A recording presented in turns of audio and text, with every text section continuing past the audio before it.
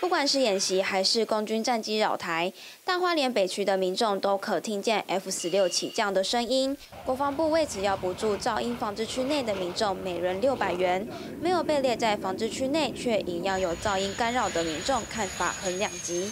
一大早，那飞机在起飞还是干嘛的时候会产生音爆哦，因为它会一直一直有那种回响啊。关于国防的。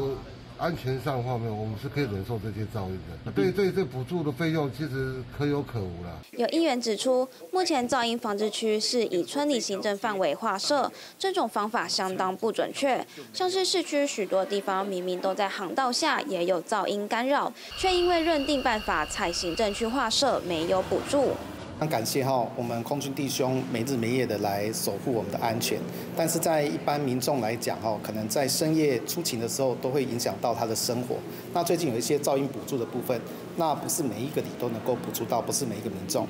国防部目前噪音划定作业方式，主要以机场附近十九个固定侦测站收集数据后，划定一至三级噪音防治区，区内民众每人可发放四百五十元至六百元，预计明年会重新检讨。在我们的等噪音线图的划分是每两年会检讨一次，我们因为呃去年才划分，所以我们必须要明年的时候。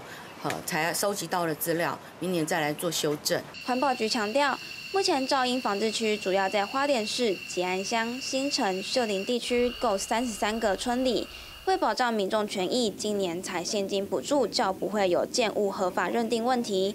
原视新闻综合报道。